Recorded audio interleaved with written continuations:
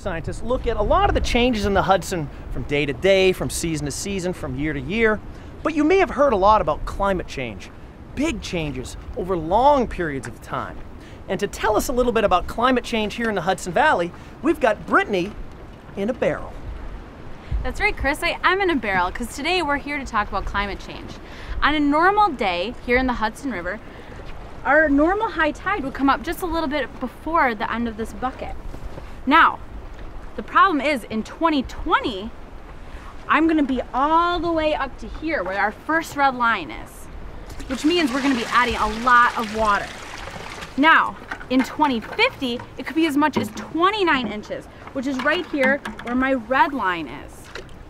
In 2080, uh-oh, in 2080, as you can see, I'm already overflowing. It's 2080, it might be as high as 55 inches, which is right here at my chin.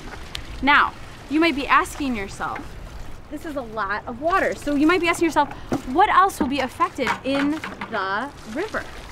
If you give me one second, we will get to. Perfect. So one thing that will definitely be affected is food webs, okay?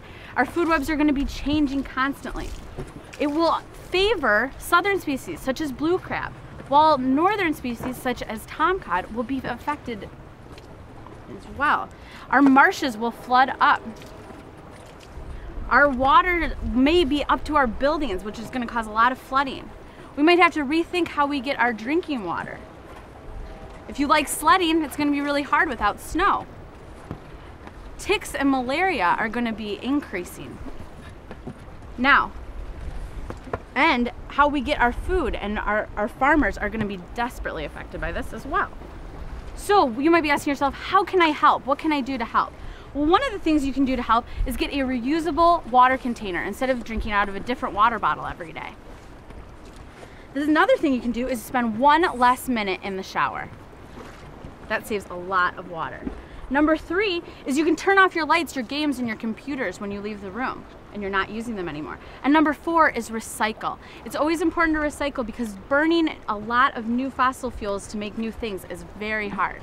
And one of the most important things you can do is volunteer in your community, which we'll talk about later and in, later in the segment. Brittany, that's fantastic. And in fact, we're going to be taking a look at some great volunteers on the Hudson River a little bit later. Yeah. You did a good job. Thanks. Stay dry. Okay.